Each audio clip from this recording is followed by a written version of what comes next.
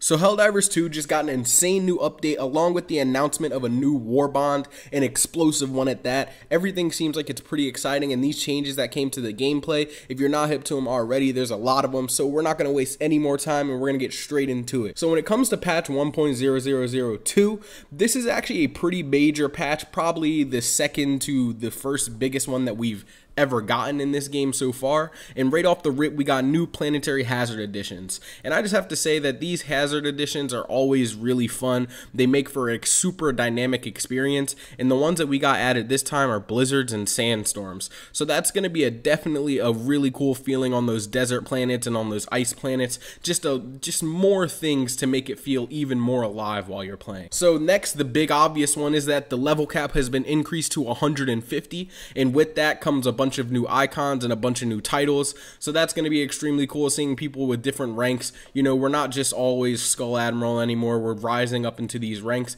And not only that, but there's a hundred new levels to go through. So that's insane considering before the last level cap was literally 50. So the next thing we're talking about is balancing. So there's a bunch of different balancing when it comes to this patch. First off, the retrieve essential personnel missions, they kind of move this, the spawn points. Fewer civilians are required to complete these missions. They're just making them easier because I think that they realize that they're the community's least favorite mission to do. So next, the destroy command bunkers got a bit of a change. There's now more objective locations because before they were a bit too easy. You could kind of just run through the map and get them done in just a huge marathon. So the next is going to be the operation modifiers. They have the negative effect of the operation modifiers that increase stratagem cooldowns you're not going to be waiting 20 minutes for your exosuit to come down or just like an extreme amount of time for any reason anymore.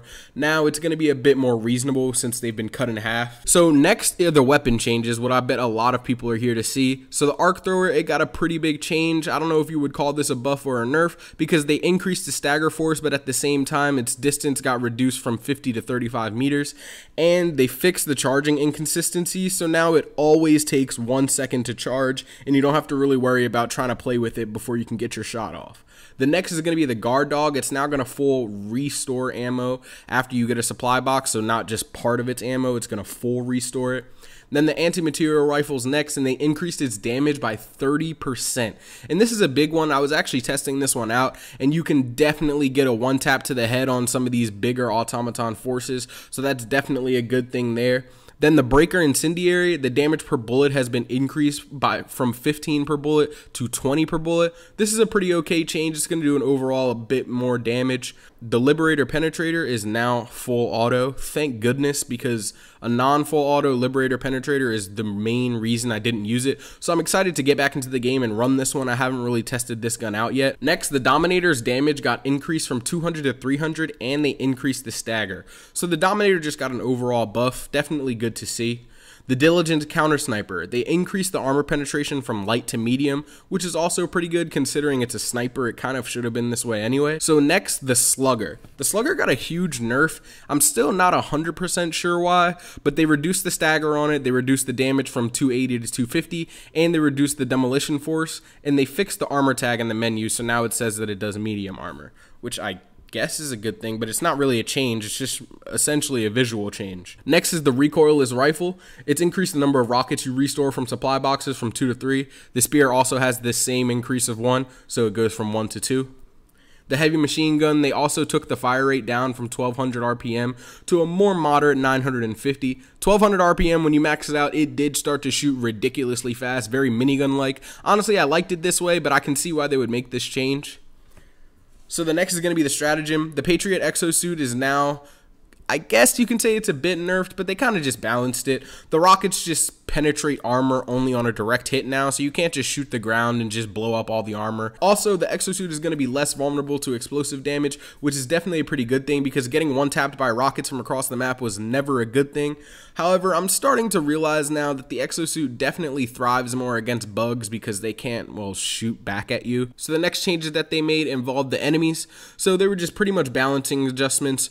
The Charger's normal melee attack now does less damage against exosuits, which is definitely a good thing. The Bile Spewer and the Nursing Spewer do less damage with their spew. The Bile Titan can no longer be stunned, which is actually a pretty big deal, so hopefully this doesn't hurt too bad. Shriekers can no longer create bug breaches, which is great since they were flying enemies. And when Shriekers hit you after they're dead, it's going to do a lot less damage, so it's not going to fly down and kill you once you've already killed it. Now, they also did a bit of a change to the armor, so the heavy and medium armor got upped in their amount of damage that they're going to protect you from. So you're actually going to take 10% less damage now from heavy armor and 5% less damage from medium armor, which I think is a pretty good change as well. Next, to move on to the war bond and everything that we know is going to be in it so far.